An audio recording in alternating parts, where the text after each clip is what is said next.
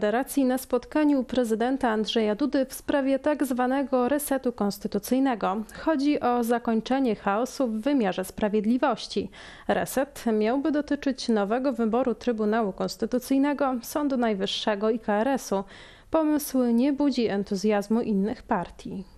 Rząd Donalda Tuska pracuje nad uchwałami, przy pomocy których chce przejąć Trybunał Konstytucyjny. Na podstawie tych uchwał Sejm ma odwołać pięciu sędziów Trybunału, trzech tzw. Tak dublerów oraz dwoje, którzy rzekomo mieli być nieprawidłowo powołani. To kolejna próba bezprawnych działań, mówi prawnik dr Michał Skwarzyński. Próba, która ma zdestabilizować podstawowy organ ochrony naszych praw, bo też i obywateli, i organ kontroli jakości stanowionego prawa. Sytuacja w wymiarze sprawiedliwości jest skrajnie pogmatwana. Pomysł na jej rozwiązanie ma Konfederacja. To tak zwany reset konstytucyjny, który zakłada wybór nowych składów Krajowej Rady Sądownictwa, Sądu Najwyższego i Trybunału Konstytucyjnego.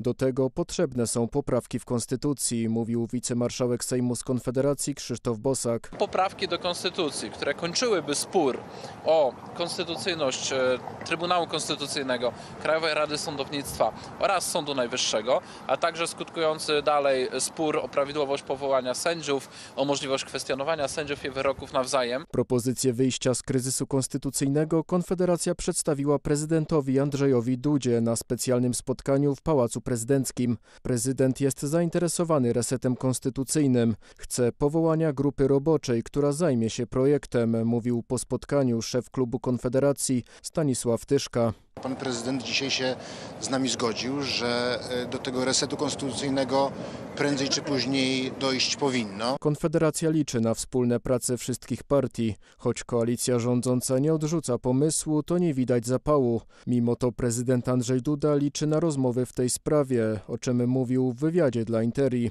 Jeżeli rząd przyjdzie do mnie z konkretnymi propozycjami legislacyjnymi, to chętnie nad nimi usiądę.